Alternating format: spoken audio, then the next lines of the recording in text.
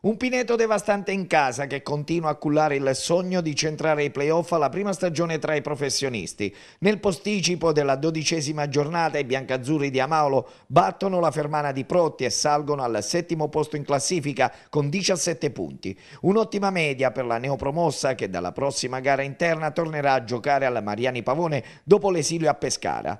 Gara equilibrata per almeno mezz'ora e gradevole tra due formazioni ben messe in campo dai due tecnici. Al quinto, iniziativa dei Canarini marchigiani, corner di Giandonato, dalle retrovie arriva Calderoni, il cui sinistro si perde alto sopra la traversa.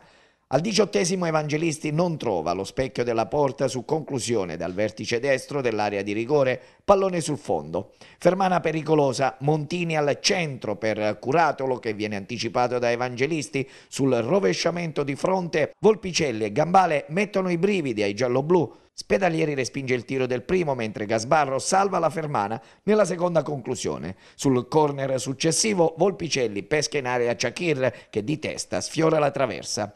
I canarini provano a spingere al 36esimo Tilli cerca spazio in area, il suo cross al centro viene allontanato dalla difesa del Pineto. Tonti respinge con i pugni un calcio piazzato di Gian Donato dal lato corto dell'area di rigore.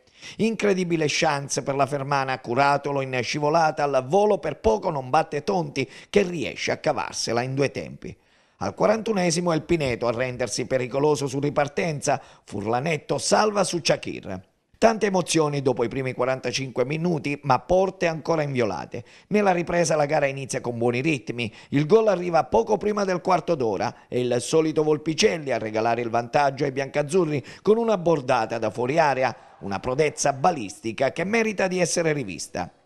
I marchigiani provano a riorganizzarsi, ma la rete dei padroni di casa ha frastornato l'11 di Protti. A 5 dal termine il Pineto raddoppia con Chakir su azione di ripartenza. L'attaccante del Pineto prima si fa respingere il tiro da Gasbarro, poi riprende il pallone, tira di nuovo e ancora il difensore della Fermana devia la palla sulla quale lo stesso Chakir si avventa di testa mettendo in rete. Nella circostanza l'estremo ospite rimasto a terra chiederà una carica che però non sembra esserci. Al Pineto i tre punti, alla Fermana resta l'ultimo posto in classifica e la zona salvezza è sempre più distante.